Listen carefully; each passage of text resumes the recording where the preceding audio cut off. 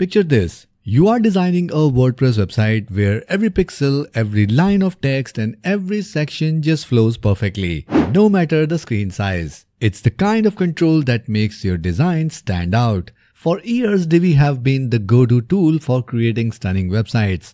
But now Divi 5 is here to take it up a notch with a feature called Advanced Units.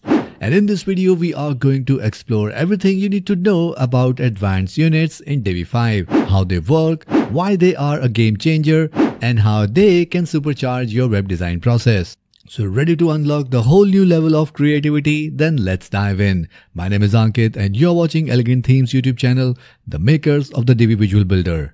Now, in case you want to deep dive in this topic and learn more about it, we have created a complete blog post that we are going to link in the video description below. So once you're done with this video, I would highly recommend that you go ahead and check out our blog post. I'm sure you will find it helpful. Imagine a single input field in the Visual Builder like a Swiss Army knife for design. It handles everything from basic CSS units to powerful functions and variables. We are talking about a tool that supports viewport units, calc function, clamp function, and even CSS variables, all in one place. This isn't just about picking pixels or percentage anymore.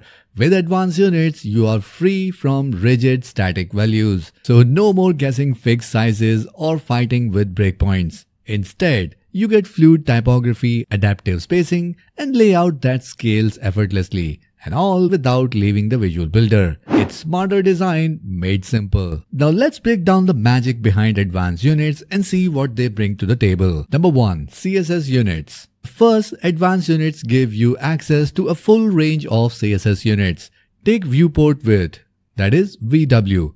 Set a section's width to 80 VW and always fills 80% of the screen, resizing smoothly from big desktops to small phones. Then there are root EM, that is REM, which ties sizes to your site's base font perfect for consistent headings. And how about fit content? Use it on a header's width and it's always shrink or grow to match the content inside, keeping things polished, compact without extra space. Next we have calc function, a little genius that acts like a calculator right inside Divi. It lets you mix units and do maths, think addition or subtraction on the fly. For example, set a section's width to calc function 100% minus 50 pixel and it will take up the full width minus 25 pixel on each side for perfect gutters.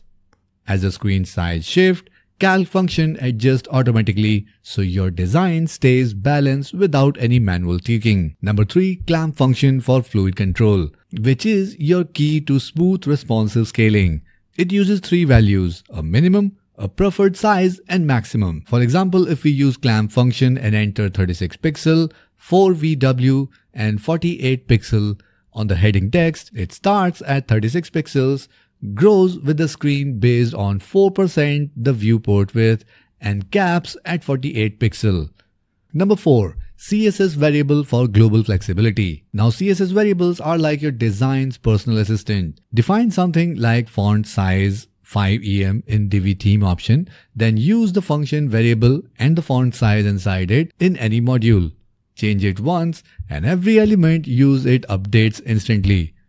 It's a fast way to keep typography, spacing or color consistent across your whole site. It's a fast way to keep typography, spacing or color consistent across your whole website. Number 5. Unitless values. And finally, advanced unit supports options like initial, unset and auto. Set a paragraph's color to initial and it reverts to black, ignoring other styles. Use unset to clear a property back to its neutral state or auto to let the browser decide like a section's height stretching to fit its content. These little tricks can give you extra control when you need it.